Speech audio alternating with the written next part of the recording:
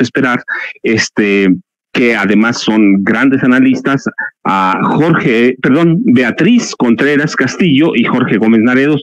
¿Qué les parece? A Beatriz no la conozco, no la conozco, pero la voy a conocer en este momento. Beatriz, ¿cómo estás? Qué bueno este, que te tengamos aquí. Mira, nos conocemos y ya tendrás que aprender que voy empezando en eso de la conducción, pero me da gusto conocerte y qué bueno que estás aquí con nosotros.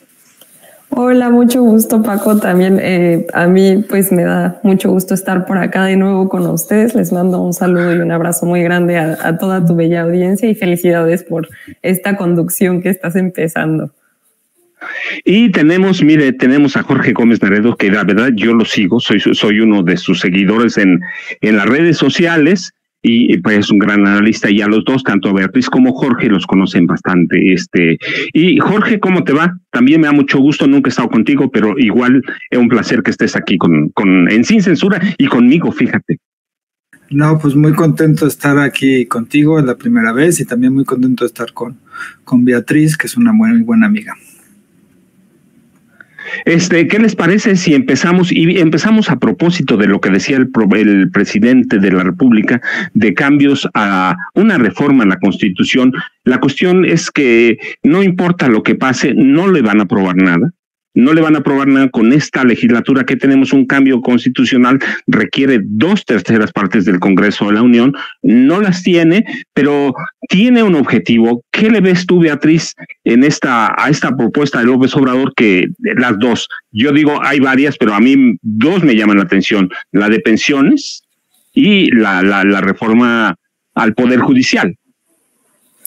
Mira, a mí me parece que la batalla que está emprendiendo López Obrador, si bien no está completamente ganada, sí está empezando a marcar una ruta que es muy importante en todas las revoluciones que hemos tenido, que es lo que ha marcado pues verdaderamente una reforma a la Constitución, ¿no? Ya mencionabas todos estos cambios, todas estas modificaciones que se han hecho desde nuestra constitución de 1917, que a, mí me gusta muchísimo decir algo que ha recordado López Obrador una y otra vez en las mañaneras, que es que nuestra constitución eh, pues emana profundamente de una revolución social, ¿no? Que es la, eh, pues es única en el mundo nuestra revolución mexicana y nuestra constitución eh, tal y como se concibió en ese momento.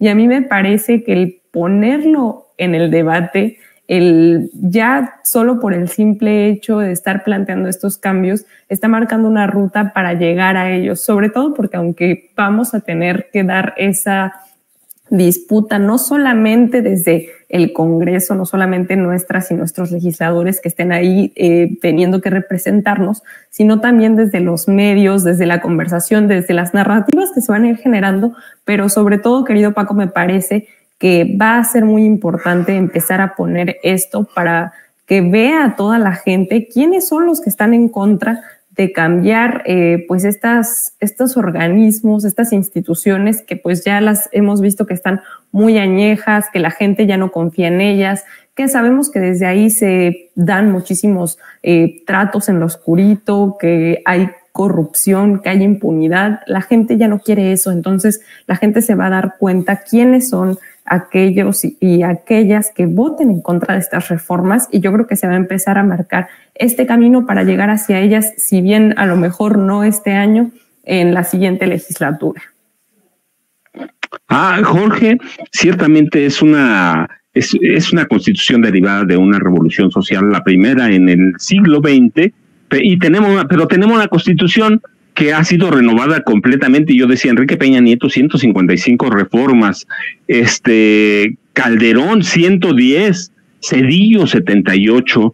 Eh, ¿Aguantamos la renovación total de la Constitución o necesitamos una, una, una refundación de este país con una nueva Constitución?